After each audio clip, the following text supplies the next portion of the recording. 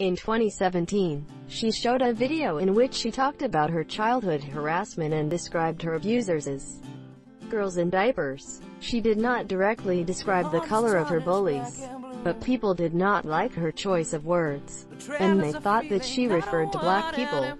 Queen Naija was soon called a colorist after she described her tyrants as black, ugly, diaper. In 2017, Queen Naija told the story of how she was intimidated by blacks, ugly, diverse. Queen Naija seems to have been thinking about her own differences for some time and was again discussing the possibility of being labeled as a colorist although she has raised this argument repeatedly.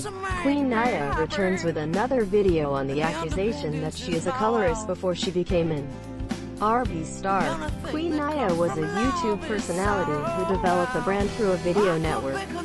She added that in the past, she did not understand how she insulted anyone, but now she sees how her words affect people, especially black women. See below as Queen Naija makes a statement on she. A year later, she decided to confront the rumors in another video that she posted on YouTube. She was accused of colorism, but she came back to explain the situation in detail.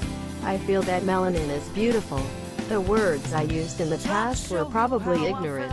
I didn't know they were ignorant back then because I was used to them. I was never a colorist but your statement fell on my deaf ears.